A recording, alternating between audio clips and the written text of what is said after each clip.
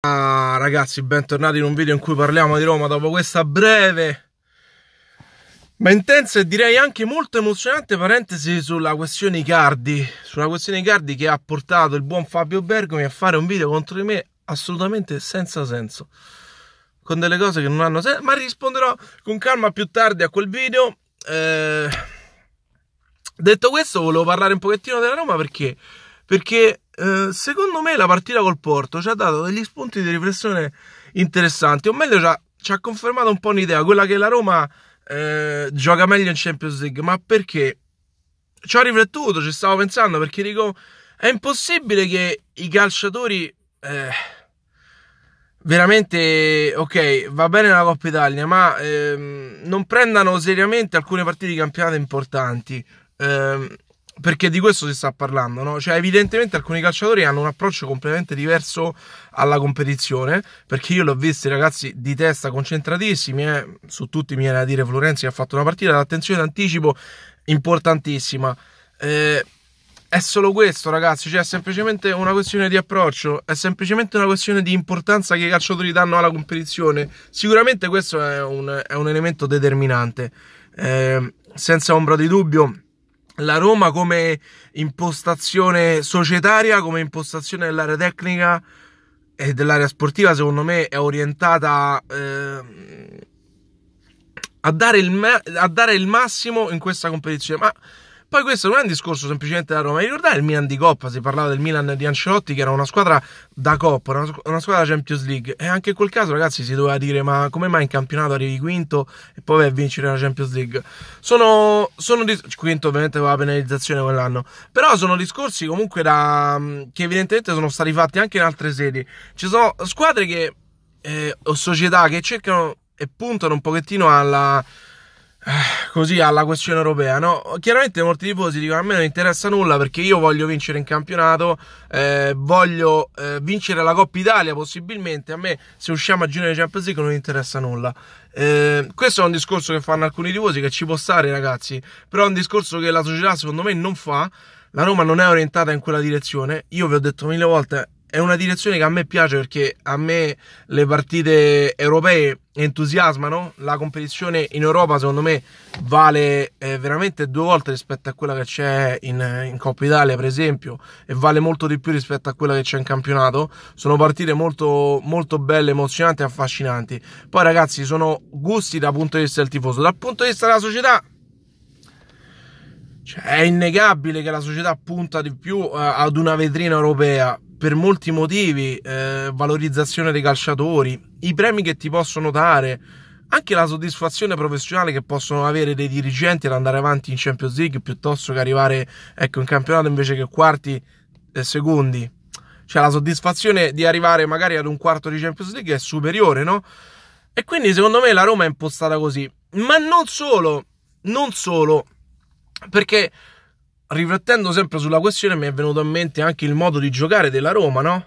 Questo modo aggressivo di giocare con la difesa alta, questo modo molto rischioso. Sapete quando c'è il rischio ci può essere la vincita del jackpot oppure la perdita di tutto. Mentre sta passando l'arrotino qua prendiamo ferro cosa tutto quanto. Vi dico che secondo me il fatto che Di Francesco ehm, ha questo stile di gioco porta alla Roma dei vantaggi cioè poter vincere con chiunque. E quando giochi in una competizione a um, eliminazione diretta come la Champions League, avere questa possibilità e questa capacità è sicuramente un vantaggio. Cioè, essere una squadra da campionato è completamente diverso dall'essere una squadra da coppa. Eh, abbiamo visto la Juve eh, domina i campionati, ma in coppa ha fatto a volte fatica, poi alla fine neanche tanto. Ma insomma, ci sono state squadre che dominavano in campionato, l'Inter di Mancini eh, dominava in campionato, ma in coppa faceva estremamente fatica. Eh, quindi la Roma gioca con questo modo aggressivo, questo modo rischioso, palla in verticale, imbucata in centro. Eh, e poi c'è da dire un'altra cosa: cioè in Coppa difficilmente tu trovi squadre che se lo giocano per lo 0-0, che stanno basse, squadre che, che, giocano magari di ripartenza esclusivamente o squadre che puntano al pareggio. Trovi squadre come il Porto che eh, sul 2-1 si alza e prova a pareggiarti il 2-2. Sono compre- c'è una concezione completamente diversa.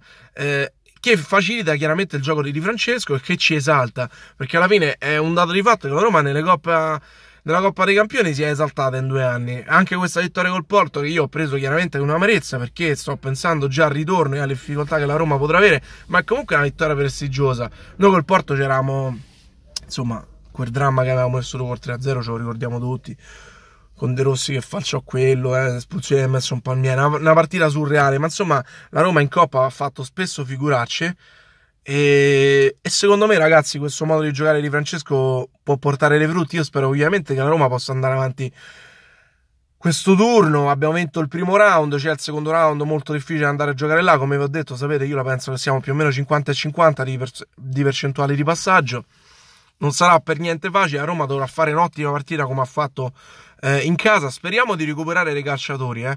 questo sì, cioè, speriamo di recuperare Garzorp. Sarebbe importante. Speriamo di recuperare, eh, non so, Perotti, Under, tutte alternative importantissime.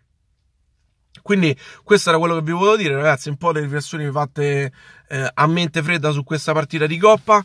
La Roma mi sembra una squadra ehm, da Coppa, purtroppo non da Coppa Italia. E secondo me, anzi, eh, riflettendo anche un pochettino sulla sconfitta in Coppa Italia, sicuramente eh, società, calciatori, allenatori hanno sottovalutato quella partita completamente, completamente.